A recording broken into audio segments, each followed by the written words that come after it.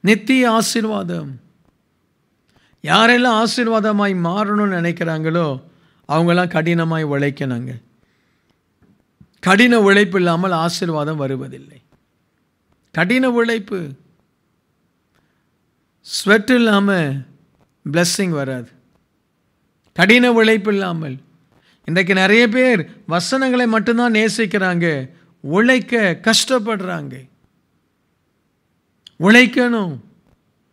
யாரெல்லாம் ஒரு நாளைக்கு சர்வ சாதாரணமாய் பத்து மணி நேரம் பன்னிரெண்டு மணி நேரம் உழைக்கிறாங்களோ அவங்க எல்லாமே நல்லா இருப்பாங்க. இது இது just simple equation simple equation பன்னெண்டு மணி நேரம் உங்களுக்கு ஷிஃப்ட் முடிஞ்சிட்டு வீட்டுக்கு வந்தாலும் பன்னெண்டு மணி நேரத்தை கணக்கு போட்டு வேலை செய்யுங்க. படியுங்க. It's very simple if you are working more hours பன்னெண்டு மணின்றது பதினாலு மணி நேரம்.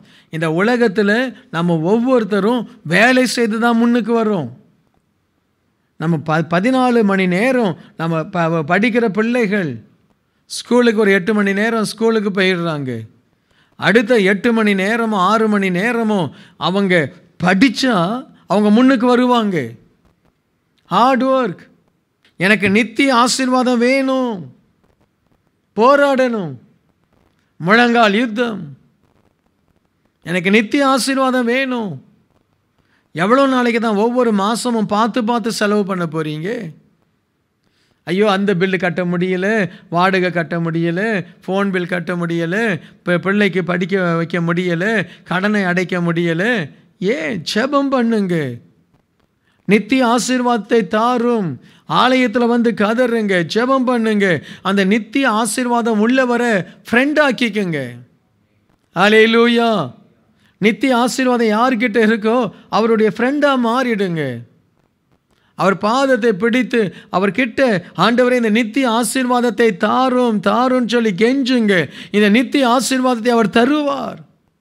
தாவீதுக்கு தந்தா நமக்கு தரணும். நம்ம சபைக்கு தரணும். நம்ம சபையில் இருக்கிற பிள்ளைகளுக்கு இந்த நித்திய ஆசீர்வாதத்தை தேவன் தரணும். ஒரு ஆமீன் இல்லை ஒன்றும் இல்லை. ஆலே லூயா நம்ம தான் கேட்கணும். பத்து வருஷத்தில் யூ மஸ்ட் பிகம் சம்படி ஒரு சொந்த கம்பெனி ஆரம்பிக்கணும்னா திடீர்னு போய் ஆரம்பிக்க முடியாது. அதற்காக பிளான் பண்ணணும் அதற்காக சேர்த்து வைக்கணும் அதற்காக இன் இன்வெஸ்ட்மெண்ட்டு uh, uh, நம்ம பிளான் இருக்கணும்.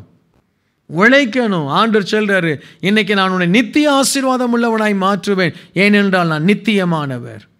ஆலே லூயா ஆலே லூயா கேளுங்க ஆண்டவரே என்னை நித்திய ஆசீர்வாதம் உள்ள மகனாய் மாற்றும்.